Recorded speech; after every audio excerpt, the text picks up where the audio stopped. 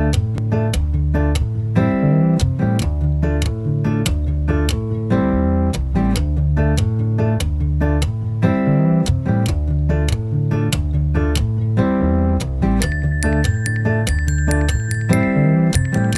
درست هندسة اتصالات وإلكترونيات وصار لي متخرجة سنة يعني. شفت إعلان على الفيسبوك عن من مؤسسة ميبي من خلال مؤسسة تعليم من أجل التوظيف عن صيانة الأجهزة الخلوية. فأنا صراحة شدني الموضوع كثير كونه قريب لتخصصي وحكيت خليني أسجل أشوف شو يطلع لي يعني.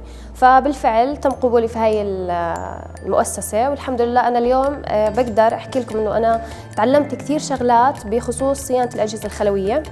تعلمنا كثير مثلا كيف نفك الأجهزة نفكها كاملة ونرجع نركبها كيف نركب شاشات كيف نركب قاعدة شحن كيف نستخدم أدوات أول مرة نستخدمها مثلا كاوي الحام.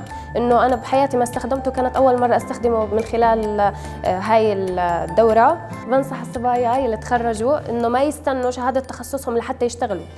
إنه خليهم يدوروا حرف جديدة. مثلا صيانة الهواتف صراحة شيء كثير ممتع وحلو. إنه بالآخر بنتعلم شغلة هي ما كانت موجودة بمجتمعنا كانت تحكر على فئة معينة اللي هم الذكور. إنه بس الذكور لهم محلات صيانة هواتف وكذا.